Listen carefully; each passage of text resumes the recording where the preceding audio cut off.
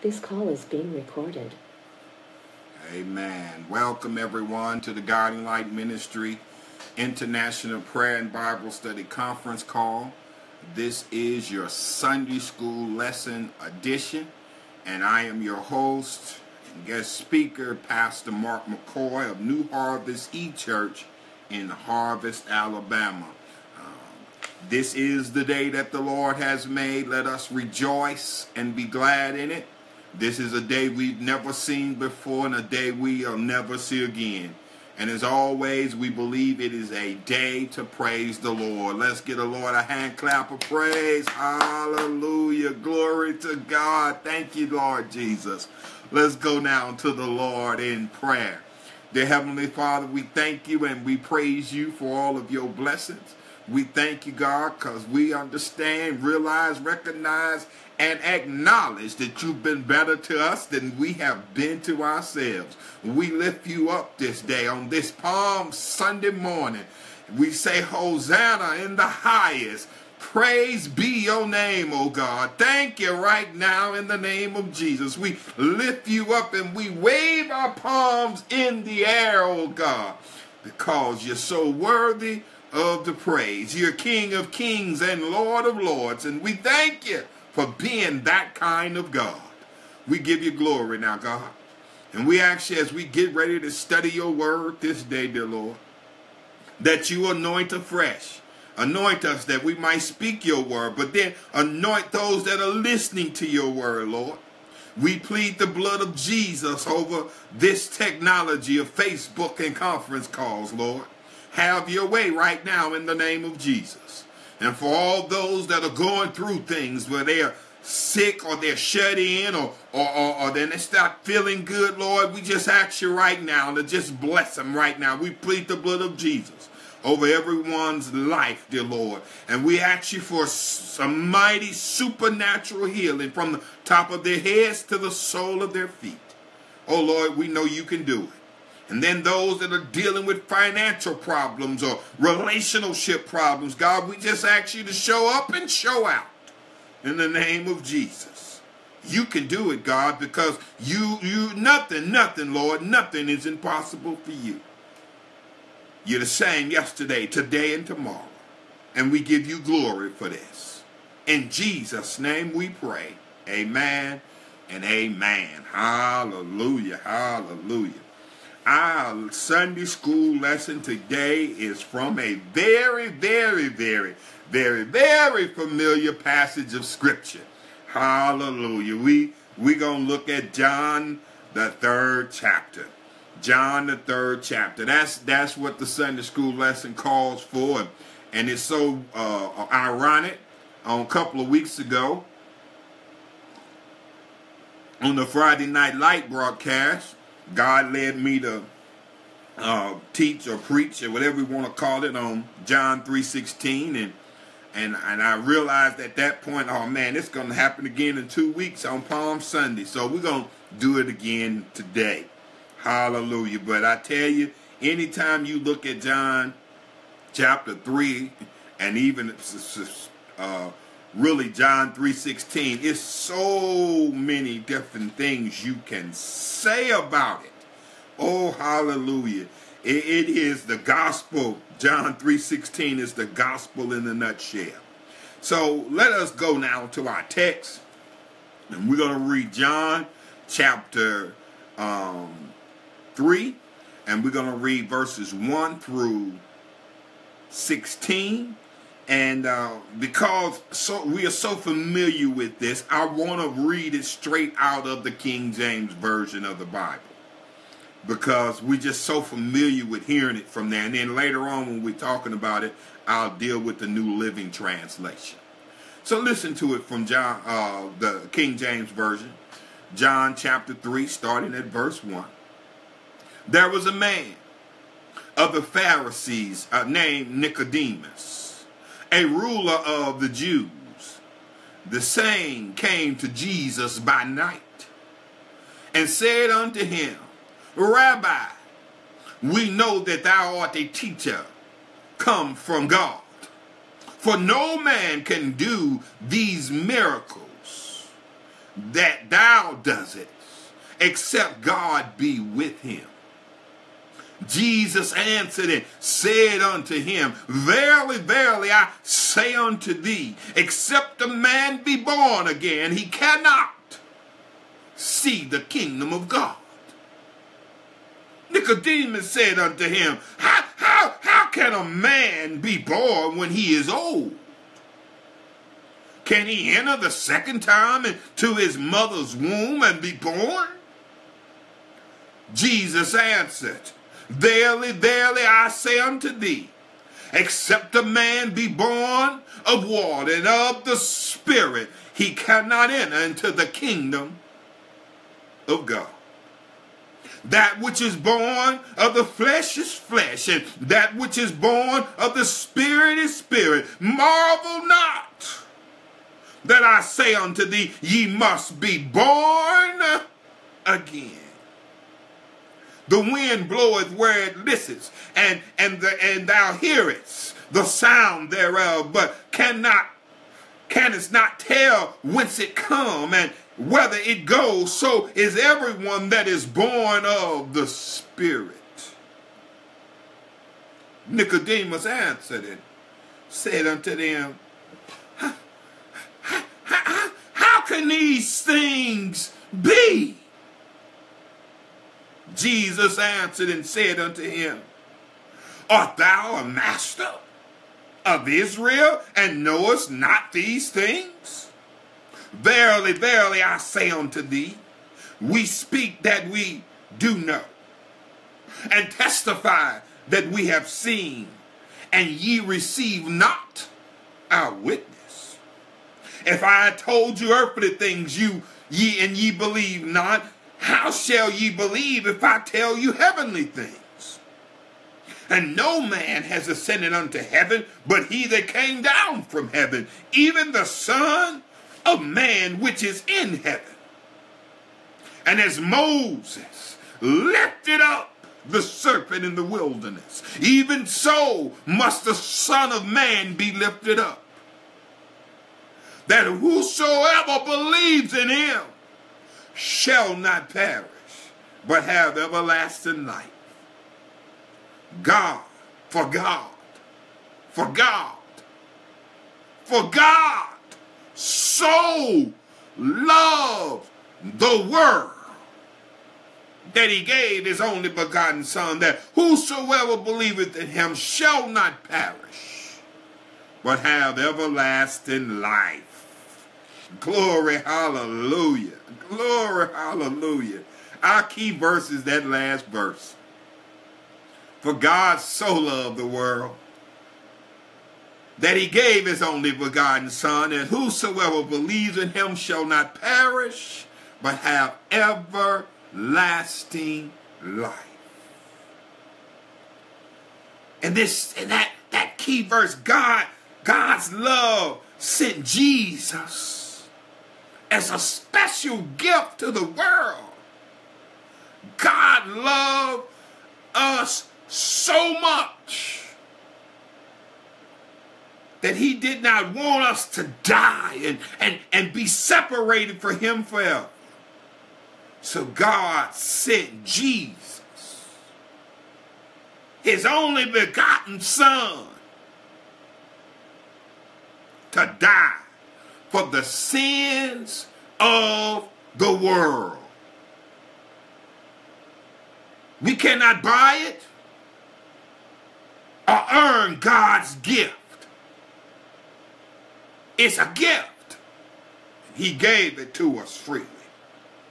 Everyone who believes and trusts in Jesus Christ will be saved. And those who are saved will have everlasting, eternal, forever life in heaven with our Lord and Savior. Oh, hallelujah. If that's all you get from this lesson, that's more than enough. Oh, hallelujah.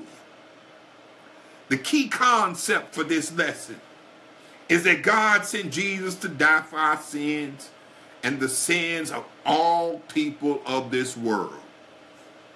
I, I, I, get, I can't stop right there and get caught up with that because he didn't just die for you and for me. He died for everybody.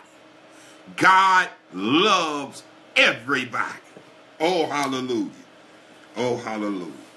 Now, I always like to give keys for kids uh, uh, so that, that those who, who say, well, well, well, well, well, you know, you be getting too deep in Sunday school.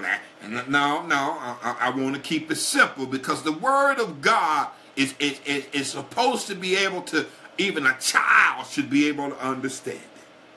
So the keys to kids is this. Number one, God loves us and he wants us to be saved, which means he wants us to be forgiven of our sins and follow him.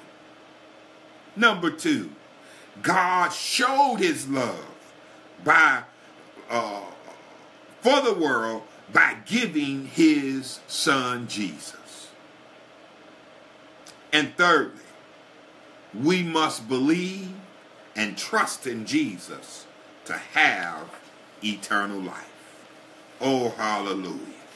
Now, now, now, let's get into it for, for the deep folks. This, this, this is what going to do with this lesson, and, and, and, and going to do it real quick. So, so, so you got to hold on to your seat because we going we gonna we to wear this thing out Lord have have mercy, Lord bless us, bless us.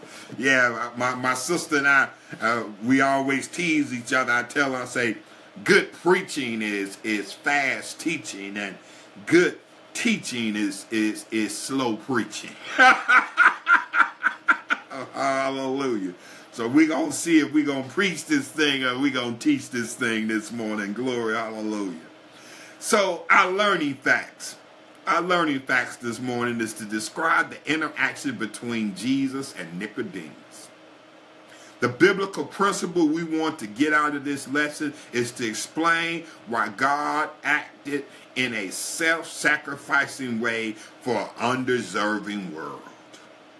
And then the daily application we want to take from this lesson is to reflect God's gracious love in our own self giving service to others.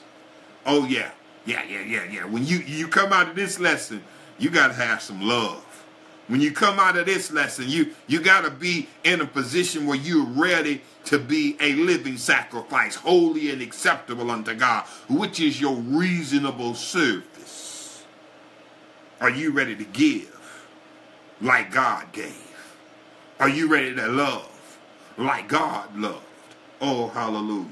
My wife bought me some new coffee this morning, some Hawaiian hazelnut. Boy, I tell you, this coffee's some good. I can't help but keep sipping it. Amen. And it is decaf, so I won't be clamming the walls. Amen. Glory, hallelujah. Our outline, we, we got an outline in three parts. That this is the straight outline of this lesson. Nicodemus meets and engages Jesus that's verses 1 through 8.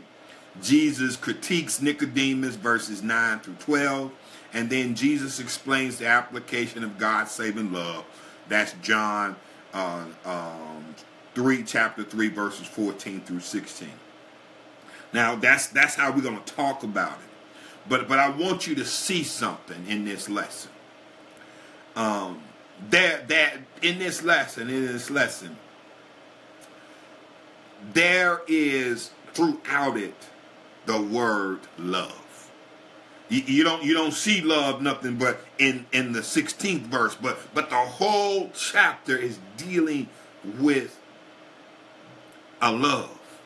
A love that's so so awesome, a love that's so true, a love that's so special. It, it, it's, it's an unfathomable love, a love that, that God has chosen to give a world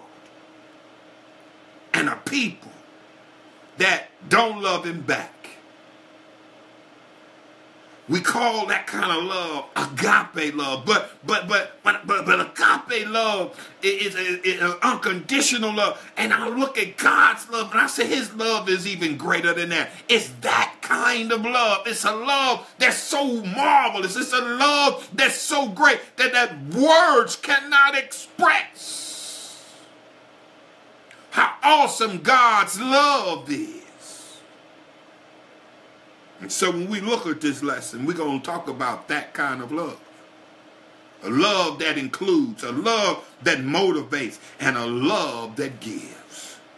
Oh, hallelujah. We're going to look at it from that love standpoint. So let's dig into our lesson. Let's dig into our lesson. Uh, Nicodemus meets and engages Jesus. Read now out of the New Living Translation. Um, New Living Translation said there was a man named Nicodemus, a Jewish leader, religious leader, who was a Pharisee. And after dark, one evening, he came to Jesus to speak to him, and he said, Rabbi, we know that God has sent you to, to, to teach us. Your miraculous signs are evidence that God is with you. Jesus replied to him, I, I tell you the truth, unless you are born again, you cannot see the kingdom of God. What, what do you mean? Explained Nicodemus. How, how can an old man go back into his mother's womb and be born again? Jesus replied, I assure you, no one can enter the kingdom of God without being born of the water and of the Spirit. Humans can reproduce only humans. But the Spirit, the Holy Spirit, gives spiritual birth, or gives birth to spiritual life. So don't be surprised when I say you must be born again. The wind blows where it wants, and just as you can, just as you can hear the wind, but you can't tell where it comes from or where it's going. So you can't explain how people are born of the Spirit. Nicodemus, the text says, was a Jewish religious leader.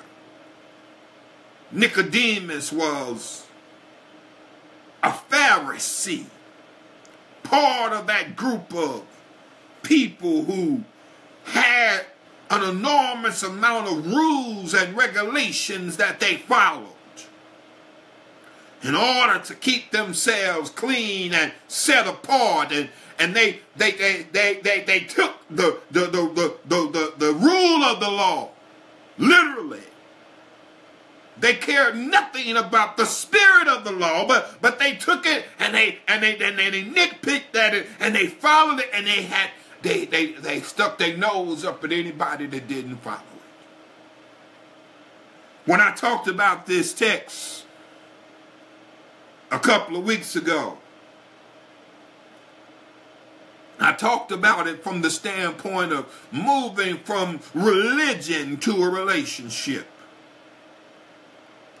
Religion is all about rules and regulations. Religion is, is all about doing this and not doing that. Where a relationship is, is such that when you know somebody, when you in love with somebody, you don't need rules and regulations. Your love compels you to do that which is right. This man, this man Nicodemus, came to Jesus at night. I, I, call him Nick at night. Some say he came because he was fearing for for that his friends the other Pharisees might might know that, that he was coming and he would get ostracized and but but but then other scholars say well he came because he knew that Jesus always had a public ministry going on and, and, and, he, in the daytime and he came at night so he could have a private conversation. Either way, this religious leader Nicodemus wanted to talk to Jesus. And when he saw Jesus, he started giving Jesus accolades. Oh, Rabbi, we know you're sent from God. You're a great teacher. All of this. And, and we know because of the signs and wonders that we've seen you do. They must exist. You have to come from God. And what always throws me is that as he gave Jesus all of these accolades, in verse 3, Jesus steps in and says, You must be born again. You can't see the kingdom of God unless you're born again. You you can't be uh, just so religious that you think you're gonna work your way into heaven. It has nothing to do with your heritage that, that you're a child of Abraham and, and that automatically gets you into heaven. Let me bring this thing down to where we are today. Just because your mama went to church, just because your daddy went to church, just because your grandmama had some good old time religion, don't mean that you got a relationship with Jesus. It's a one on one thing, it's a personal thing. You have to have a personal relationship with Jesus. And in order to have that personal relationship with Him, you must be born again. Nicodemus was thrown off because he didn't ask that question. What must I do to be saved? How do I get into the kingdom of God? But Jesus went there. And I don't care who we are, Jesus will always go there. He will go there with us. Yeah, he went there. He got real personal. Because it's a personal relationship. He's not going to let us just, just, just, just fake this thing out. Play, play church. Play, no, no, no. This is a real relationship. It's personal. So, Jesus got very personal with him. He was giving Jesus all these accolades. Jesus said, I don't want to hear all that. You got to be born again. And so that's what was going on here. And so, at that point, Nicodemus said, Well, how can this thing be? What do you mean? I don't understand. I don't comprehend this being born again stuff. How how can a man go back into his mother's womb and be born again? He, he's saying that, look, I don't understand how this transaction can occur in the natural. Can an old man jump back into his old mama's womb? That's a natural thing. Jesus replied, No, that ain't what I'm talking about, dog. That ain't what I'm trying to get you to understand. This thing is not natural. It's supernatural. Yeah. See, I assure you, he says, no one can enter the kingdom of God without being born of the water and of the Spirit. Now, born of the water could mean the natural water that we come out when we come out of the birth canal. The, the mother's water is broken and we come out.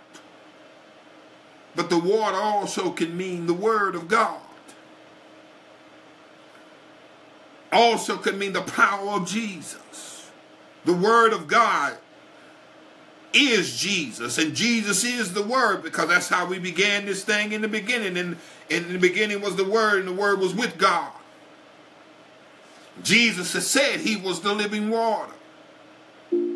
So when we think about the Word of God, it has the ability to cleanse us. It has the ability to draw us. The Word draws us.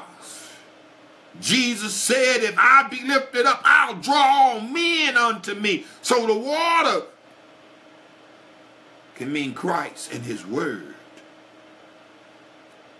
But then the Spirit of God has to move on you. Just like in the beginning of time when, when, when, when the Spirit hovered over the chaos of the world, the Spirit hovered over it. Spirit has to move in your life. And when the Holy Spirit moves in your life, when He gives you that faith to claim and call on the name of Jesus and accept Him as your Lord and Savior with a personal relationship, it's a marvelous thing. It's a born again experience. I love how the old folks used to say when I stepped in the water, the water was cold and chilled my body, but not my soul. When I came out, I had I, my hands looked new and my feet did too. I had a new walk and I had a new talk. Uh, that's about being born again. Hallelujah. Glory to God. Or he says, humans in the New Living Translation says, humans can produce only human life. That which is born of the flesh is flesh.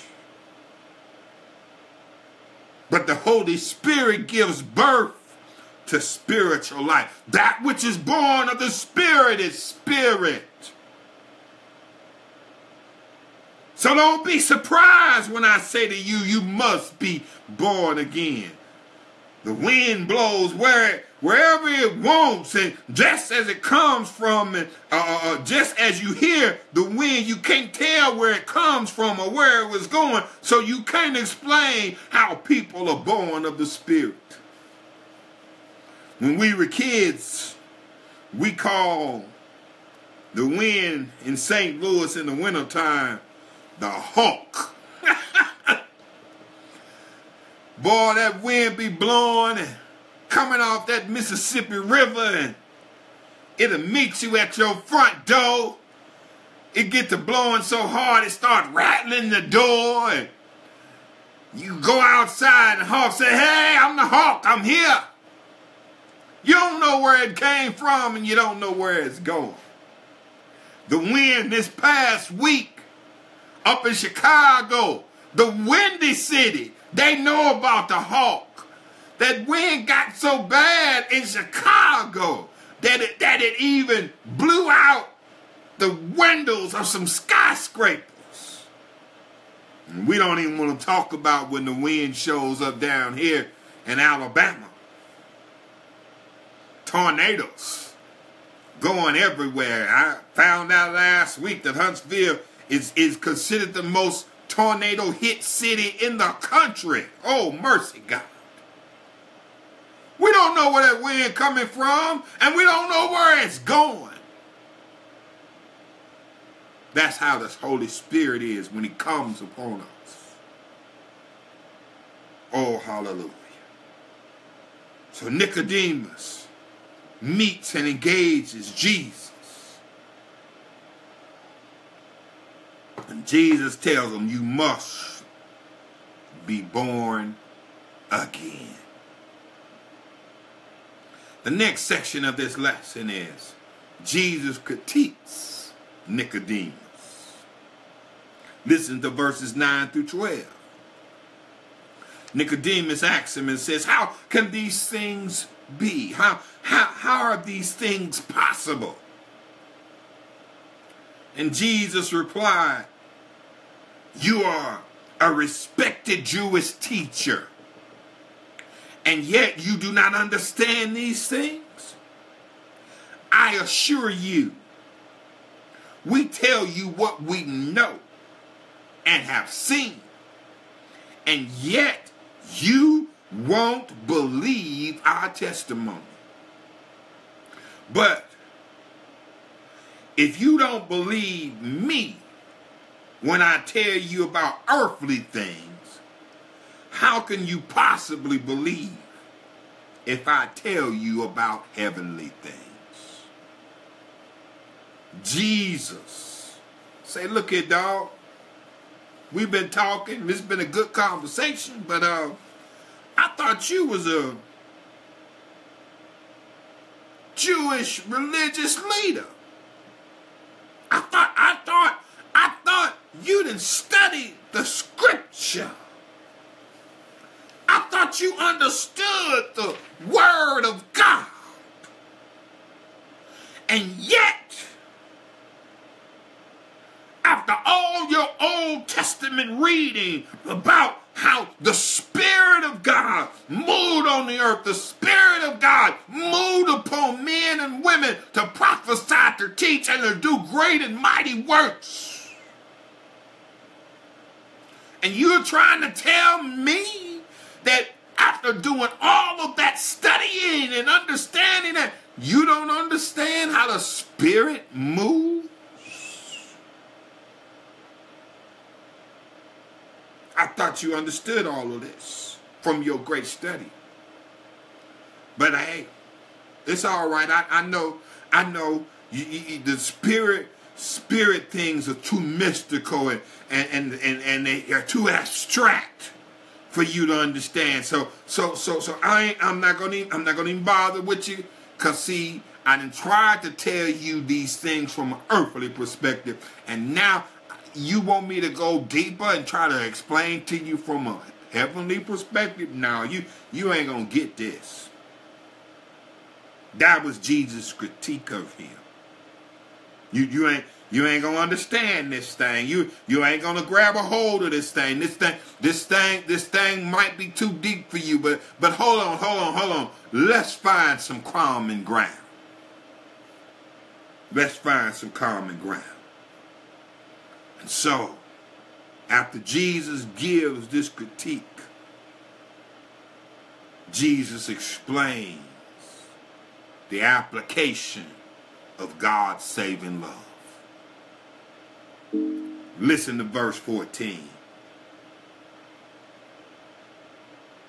And as Moses lifted up the bronze snake on a pole in the wilderness, so the Son of Man must be lifted up, so that everyone who believes in him will have eternal life.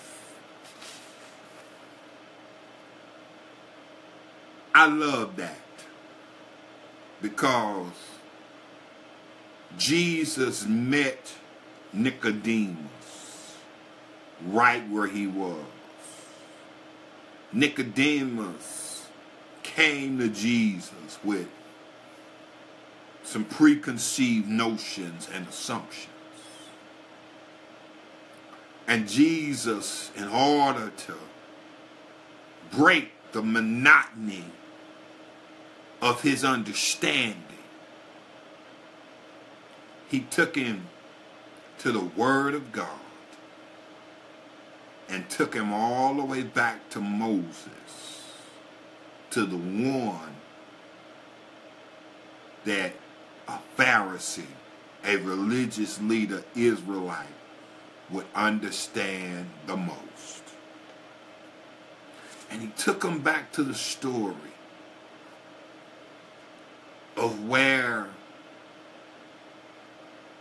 the children of Israel were in a disobedient state and God allowed snakes to bite them and come at them and and then he told them, say, now Moses, those that's got faith, what I want you to do is I want you to put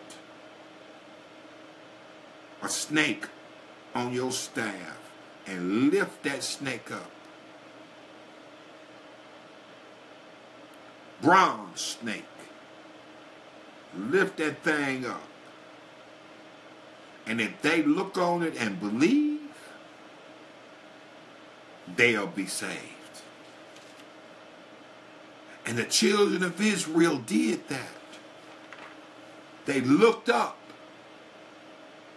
and they believed and they were saved.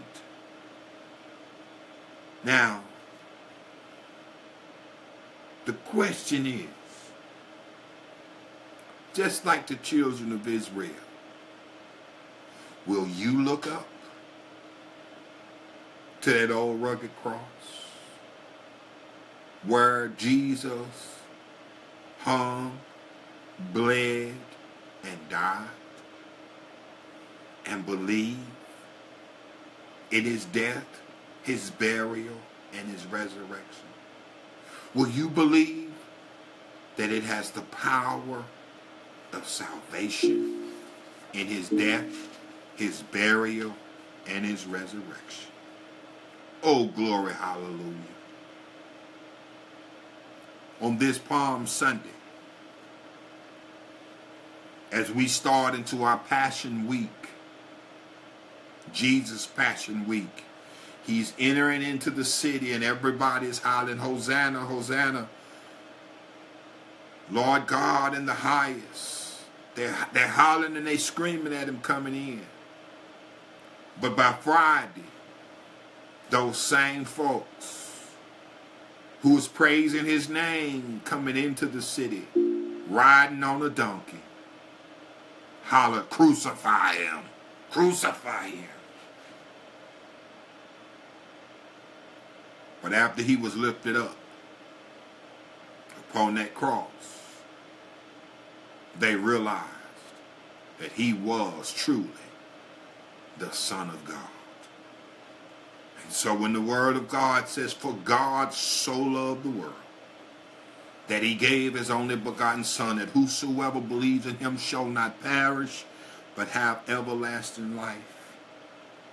He's showing us that we have saving grace through our Lord and Savior Jesus Christ.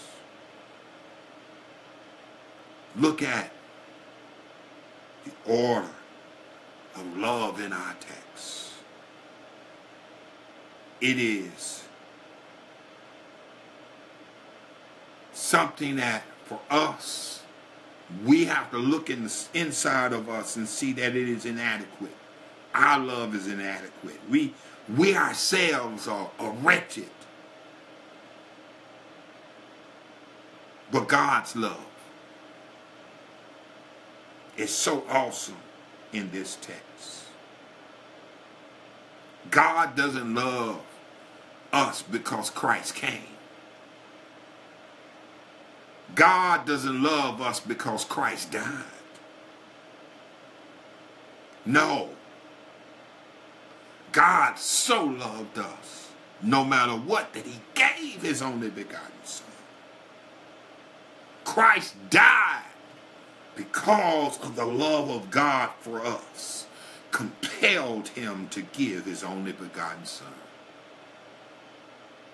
God came as a consequence.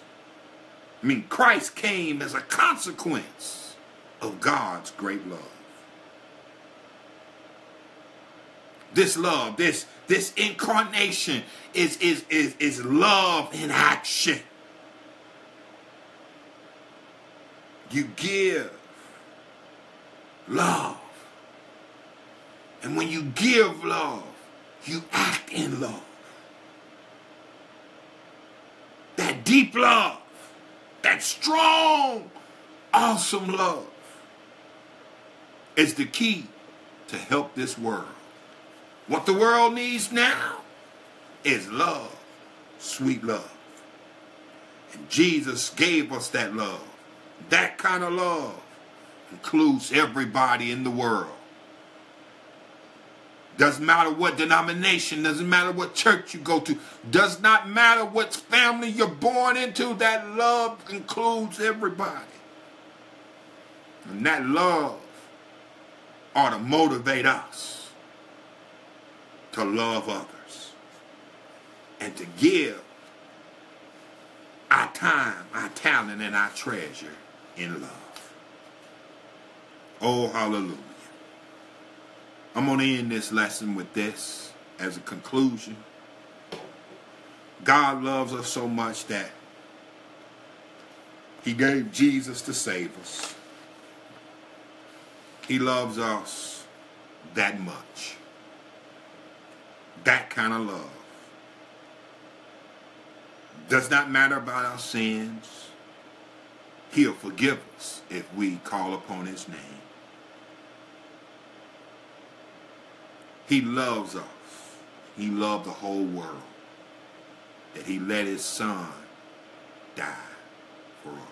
No greater love than this for a man to lay down his life for his friend. And Jesus did it even while we were yet sinners. Christ died for the ungodly. So if you believe in Jesus Christ God promised that you will live with him forever and ever and ever. Let us pray the prayer of salvation. Dear Father God, I confess with my mouth and believe in my heart that Jesus died for my sins and was raised from the dead.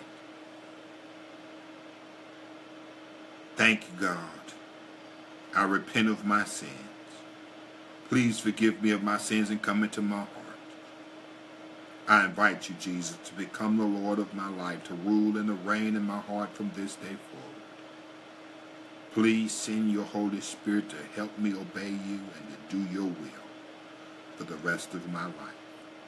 In Jesus' name we pray. Amen.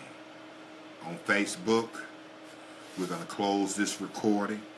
If you want to join us on the conference call where we have prayer and where we talk and discuss the lesson in overtime, you're more than welcome to come and be with us.